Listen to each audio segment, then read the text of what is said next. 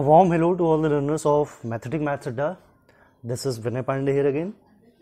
Class twelfth की matrices की next video जिसमें आज हमारा जो फोकस रहेगा, वो रहेगा कि किसी भी मैट्रिक्स का इन्वर्स कैसे निकाला जाता है अब वीडियो के स्टार्टिंग में ही मैं आपको बता दे रहा हूँ, आज मैं आपको इन्वर्स निकालना नहीं सिखाने जा रहा हूँ आज मैं आपको सिर्फ़ ये बताने जा रहा हूँ कि एलिमेंट्री ऑपरेशंस क्या होते हैं मैट्रिसेस में इन एलिमेंट्री ऑपरेशंस का यूज़ क्या होता है?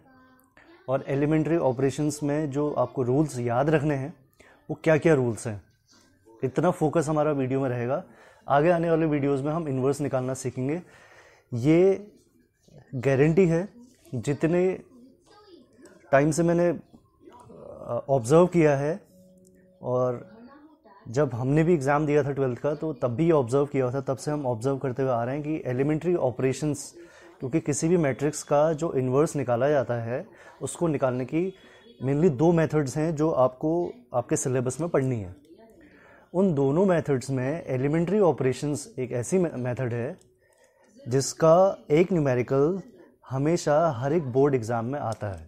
वो चाहे स्टेट बोर्ड का एग्ज़ाम हो या C B S C I C S C कोई भी बोर्ड का एग्ज़ाम हो, उस एग्ज़ाम में जो आपका बोर्ड का एग्ज़ाम होगा, उसमें एलिमेंट्री ऑपरेशन से इन्वर्स निकालने का क्वेश्चन हमेशा आता है। तो ये आपको याद रख लेना है कि ये जो ऑपरेशंस के रूल्स मैं आज आपको बताने जा रहा हूँ, बहुत इंपॉर्टेंट होने जा रहे हैं, क्योंकि इन्हीं रूल्स से आप इन्वर्स निकालना सीखेंगे नेक्स्ट वीडियोस जो मैं लेकर के आऊँगा। तो फ़िलहाल, इन्वर्स का मतलब क्या होता है, ये हालाँकि पिछले वीडियोस में भी मैं आपको बता चुका हूँ, फिर दोबारा से रिपीट कर रहा हूँ, जैसे कोई भी एक स्क्वायर मैट्रिक्स आपको ए दी है इसका जो इन्वर्स है, उसके इन्वर्स को हम रिप्रेजेंट करते हैं ए इन्वर्स से। और सपोज़ ये जो ए मैट्रिक्स है सपोज़ ये है थ्री बाई थ्री की मैट्रिक्स तो अगर ये थ्री बाई थ्री की मैट्रिक्स है तो इसका मतलब इसका जो इन्वर्स होगा, वो भी थ्री बाई थ्री का ही होगा। एक तो ये चीज़ आपको ध्यान रखनी है। और दूसरा कि इस मैट्रिक्स का इन्वर्स एक्चुअली है क्या? अगर मैं ए कोई थ्री बाई थ्री की मैट्रिक्स ले रहा हूँ तो थ्री बाई थ्री की आइडेंटिटी मैट्रिक्स क्या होगी? वो होगी one zero zero zero one zero zero zero one.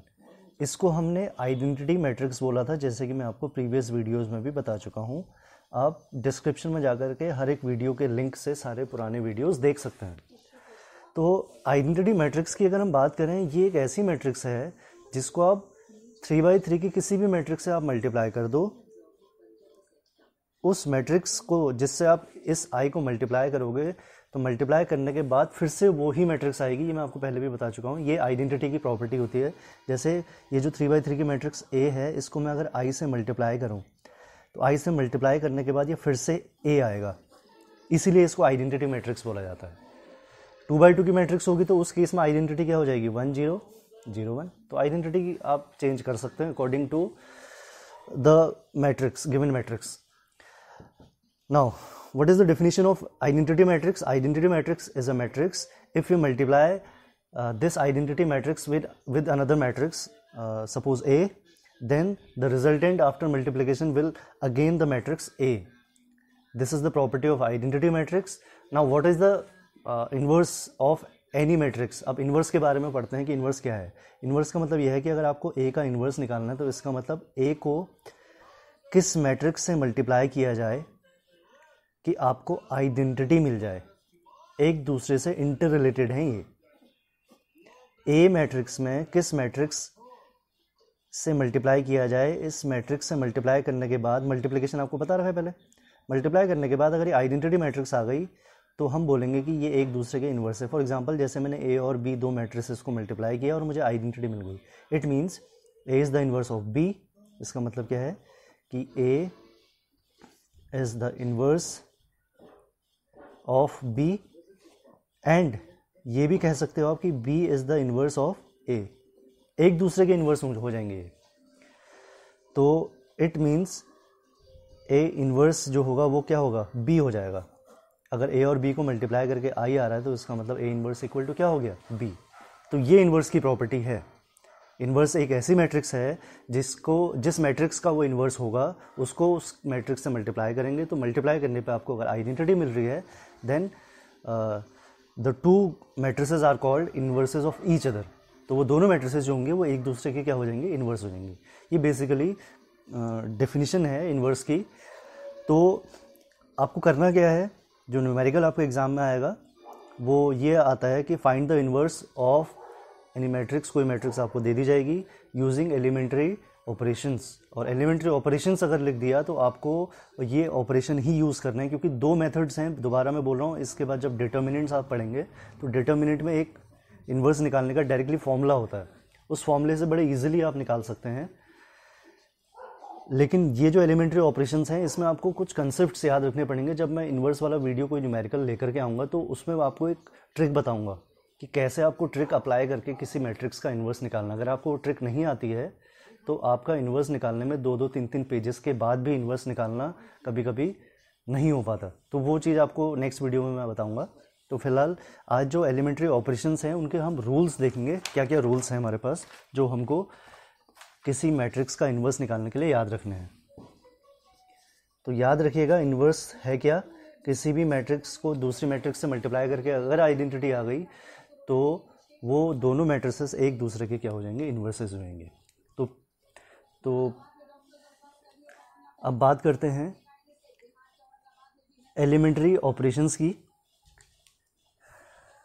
इसमें सबसे पहले हम देखते हैं elementary row operations.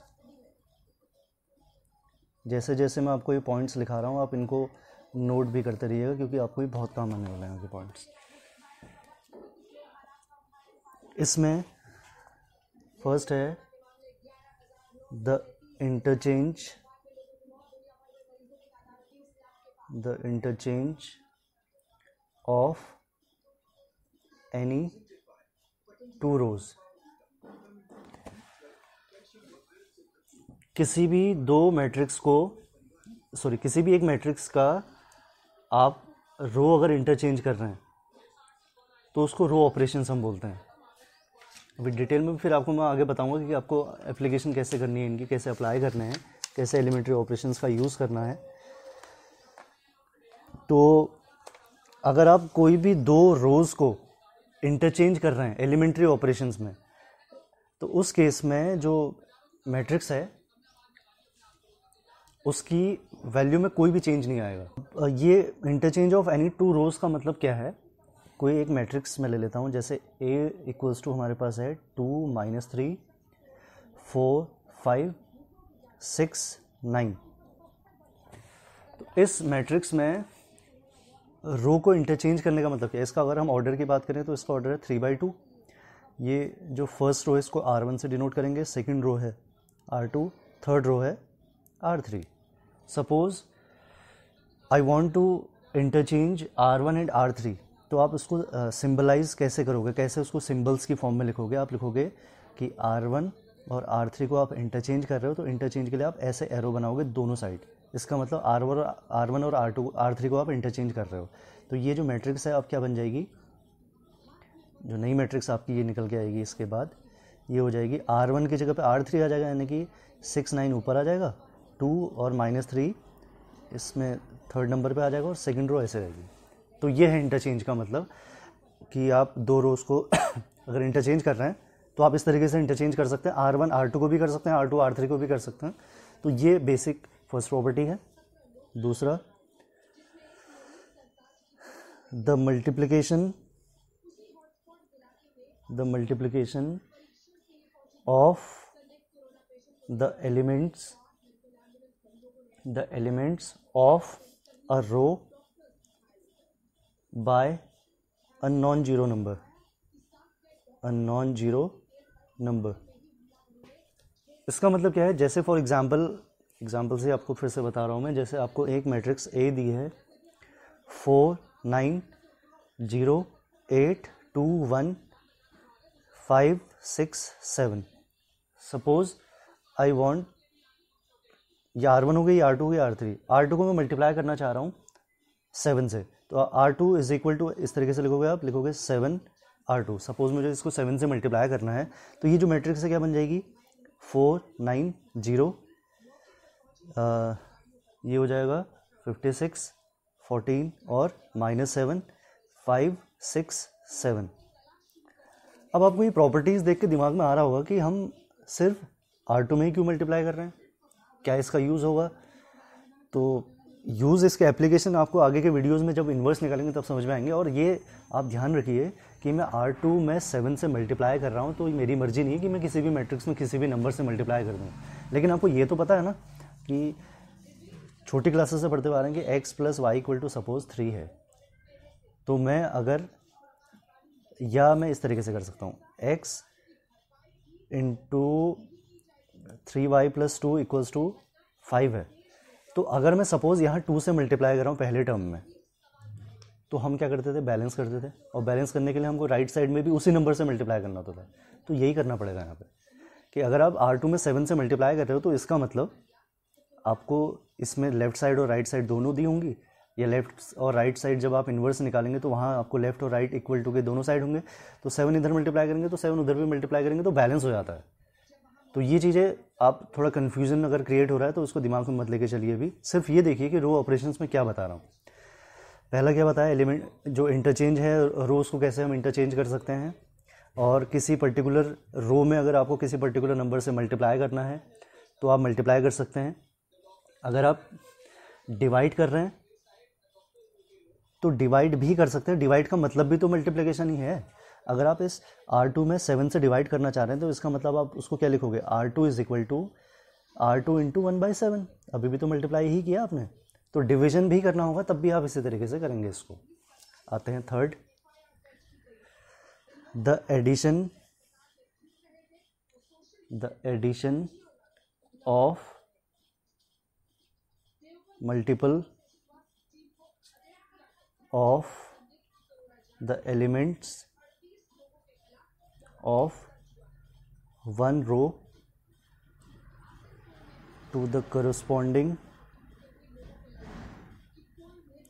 to the corresponding elements of another row another row. इसमें देखिए क्या मतलब है इसका कि the addition of multiple of elements of one row to the corresponding elements of another row इसका मतलब क्या है? जैसे ए इक्वल्स टू मेरे पास है one five nine three eight eleven two five seven जैसे मैं क्या कर रहा हूँ सपोज़ मैं चाहता हूँ कि मैं R two is equal to क्या करूँ?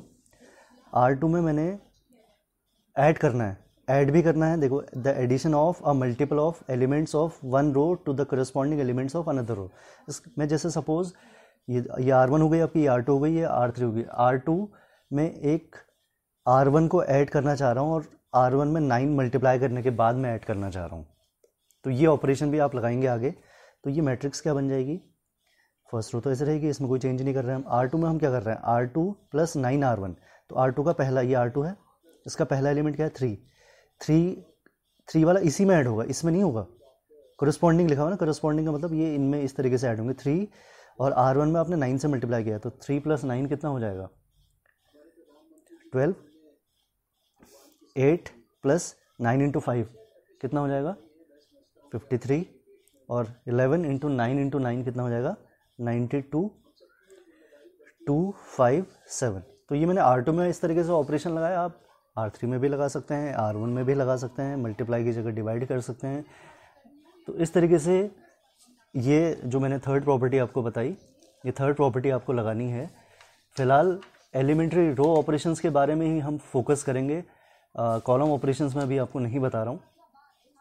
कॉलम ऑपरेशंस में भी आपको जिस तरीके से मैंने रो ऑपरेशन बताया है, इसी तरीके से कॉलम ऑपरेशन भी आप लगा सकते हो। कॉलम ऑपरेशन में जो चीज़ें मैंने आपको रो में बताई, वही चीज़ आप कॉलम में भी अप्लाई कर सकते हो। तो उस पर मैं अब दोबारा से आपको ये डिटेल में दोबारा से ये चीज़ें नहीं बता रहा हूँ। एग्ज़ाम में क्वेश्चन तीन तरीके से आ सकता है। या तो वो बोलेगा कि find the inverse of any matrix using elementary transformation तो आप किसी भी ऑपरेशन का यूज़ कर सकते हो। रो ऑपरेशन लगा दिया या कॉलम ऑपरेशन लगा दिया, आपकी मर्ज़ी। ऐसा भी आ सकता है कि find the inverse of the matrix using elementary row operation तब आपको रो ऑपरेशन ही लगाना है, ये ऑपरेशन लगाना है कॉलम नहीं लगाना। और find the inverse of any matrix using column transformation या कॉलम ऑपरेशन तो एलिमेंट्री कॉलम ऑपरेशन में आपको रो ऑपरेशन नहीं लगाना है कॉलम ही लगाना है। जैसे मैंने यहाँ पे आर वन आर थ्री को इंटरचेंज किया था, ये सी वन हो जाएगा इसमें कॉलम ये सी टू तो सी वन और सी टू को इंटरचेंज कर सकते हैं आप। जो आर में मैं रो में ऑपरेशन लगा रहा हूँ, वो आप कॉलम में भी लगा सकते हैं। वो, ये सारे ऑपरेशंस हमको कहाँ यूज़ करने हैं? ये ऑपरेशंस हमको यूज़ करने हैं मैट्रिक्स के इन्वर्स निकालने में।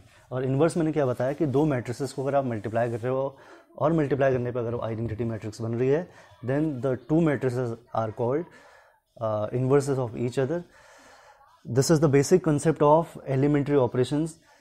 We have learn about elementary row operations and elementary column operations. These operations are used to find the uh, inverse of any matrix. Uh, next video में हम इन्वर्स निकालना सीखेंगे। फिर दोबारा से आपको रिपीट कर रहा हूँ कि एक इन्वर्स वाला क्वेश्चन एलिमेंट्री ऑपरेशन का हमेशा एग्ज़ाम में आता है। और आगे के वीडियोस में जब भी मैं वो वीडियो लेकर के आऊँगा तो आपको ट्रिक बताऊँगा कि किसी भी मैट्रिक्स के इन्वर्स निकालने के लिए अगर आप ये चीज़ें अप्लाई करेंगे तो आपको इन्वर्स हमेशा सही मिलेगा और कम स्टेप्स में आपको इन्वर्स मिल जाएगा। तो जल्दी नेक्स्ट वीडियो भी लेकर के